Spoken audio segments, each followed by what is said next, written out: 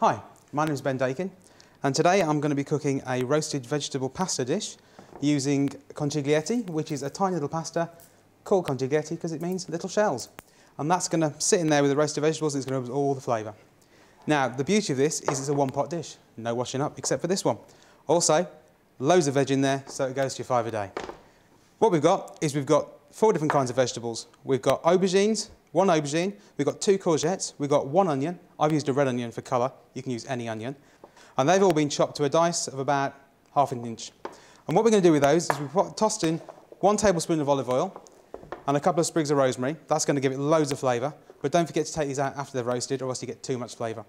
This goes in an oven at 225 degrees Celsius, which is nice and hot because you want a lot of colour on those vegetables. And that's going to stay in there for 15 minutes.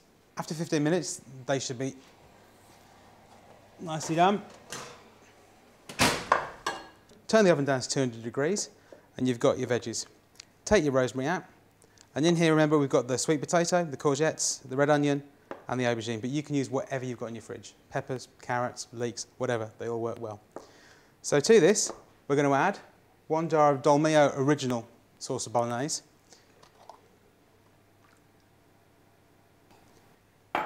Your 400 grams of conchiglietti, or any pasta you want. You can use penne, you fusilli, whatever you want. I've used little ones for those.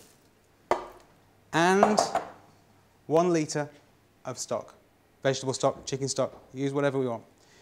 Now, this has got to be hot, so have it simmering on the stove or else your pasta is going to take longer to cook than it should. So in that goes. And we're going to do is we're going to mix all this up.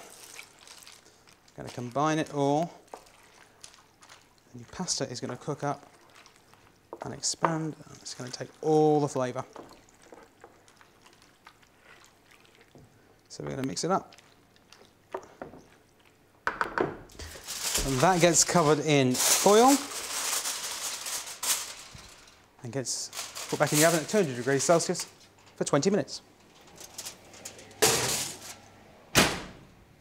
So after 20 minutes at 200 degrees Celsius, your pasta bake should be baked.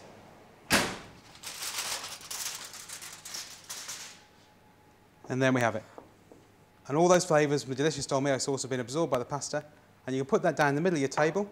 Make sure you've got a mat underneath it because it's going to be red hot. And the whole family can just dig in.